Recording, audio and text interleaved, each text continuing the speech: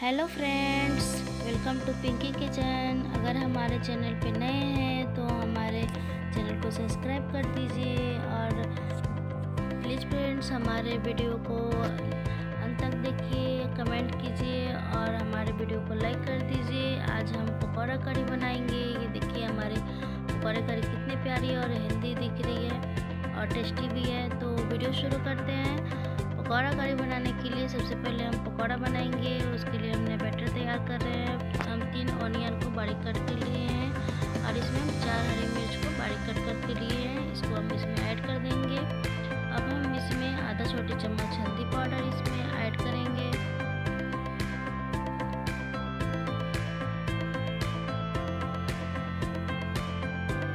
एक चम्मच हम अदरक लहसुन का पेस्ट इसमें ऐड करेंगे।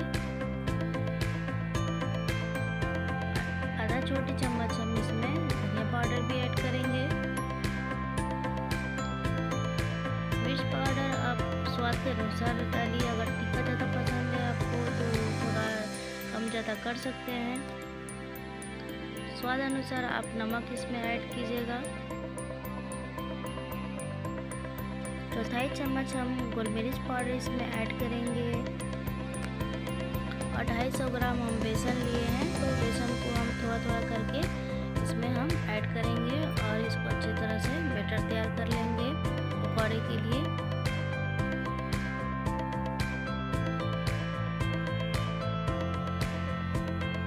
थोड़ा थोड़ा करके हम इसमें ऐड कर रहे हैं और इसको अच्छी तरह से मिला लेंगे। हम इसमें अजवाइन का यूज़ कर रहे हैं। अजवाइन सेहत के लिए बहुत ज़रूरी होता है और इसमें पकौड़े में अच्छे से टेस्ट आएगा। अजवाइन को हम लोग क्रश करके डालेंगे। और थोड़ा थोड़ा करके हम इसमें पानी मिलाएँगे और इसको अच्छे से मिक्स कर देंगे अपने हाथों से। इसमें थोड़ी सी और बेसन की ज़रूरत है तो हम इसमें और बेसन इसमें ऐड करेंगे और इसको अच्छी तरह से हम लोग मिला लेंगे।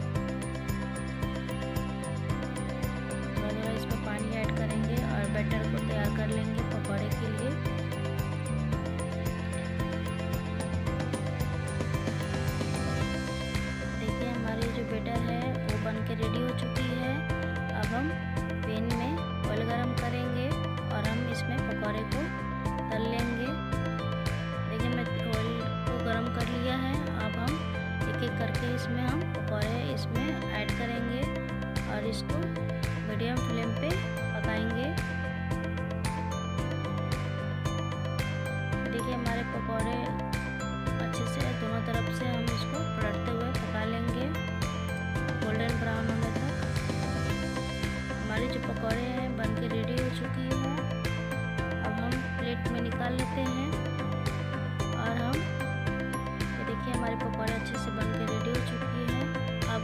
कढ़ी बनाएँगे।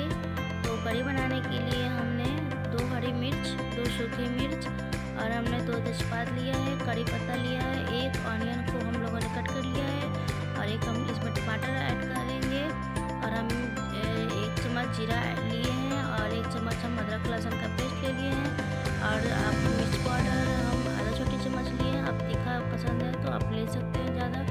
हम स्वाद अनुसार नमक, आधा छोटी चम्मच हल्दी पाउडर और आधा छोटी चम्मच हम धनिया पाउडर लिए हैं। अब एक कटोरी लेंगे। अब हम इसमें ढाई सौ ग्राम बेसन लिए हैं और हम आधा कटोरी यानी तीन चम्मच हम दही यूज़ कर रहे हैं। और इसको हम थोड़ा सा पानी इसमें ऐड करके और इसका हम बैटर तैयार कर लेंगे।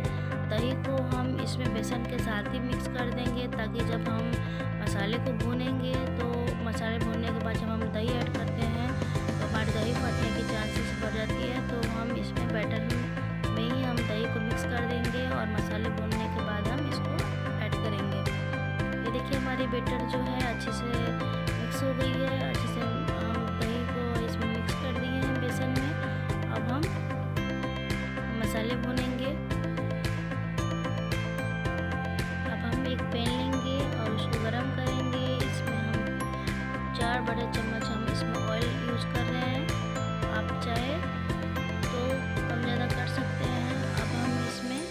जीरा ऐड करेंगे और हम जीरा को चटकने तक हम इसको भून लेंगे जीरा को। जीरा हमारी भून चुकी है। अब हम इसमें दो तेज़पात ऐड करेंगे और दो सूखी मिर्च हम इसमें ऐड करेंगे और इसको भी हम भून लेंगे।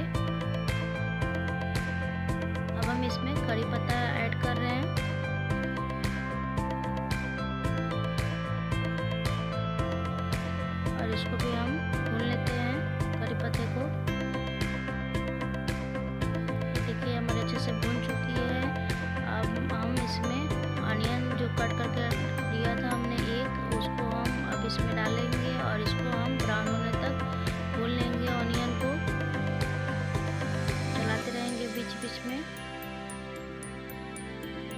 इसमें जो हरी मिर्च लिए थे, दो लंबा इस साइज़ में कट करके इसको भी हम इसमें डाल देंगे। इसका टेस्ट और फ्लेवर अच्छा आता है और हेल्दी भी होता है। ये देखिए, हमारे जो ऑनियन है, अच्छे से गोल्डन ब्राउन हो चुकी है।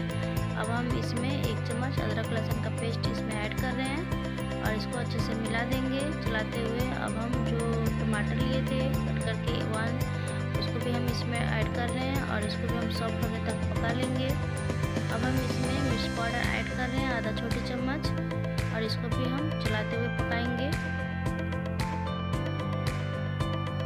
अब हम जितने मसाले लिए थे, धनिया पाउडर, हल्दी पाउडर गोल मिर्च और स्वाद अनुसार नमक, हम इसमें सबको एक साथ ऐड कर देंगे, और इसको भी हम अच्छे से भून लेंगे।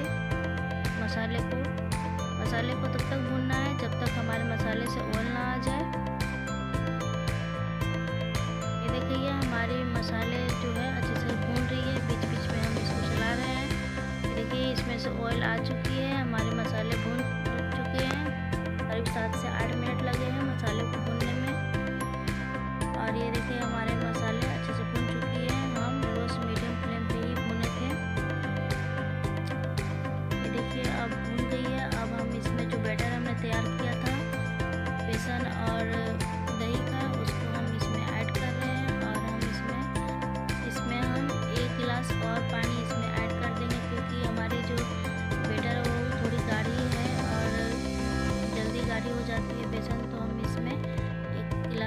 पानी ऐड किए हैं और इसको अच्छे से बॉईल करेंगे।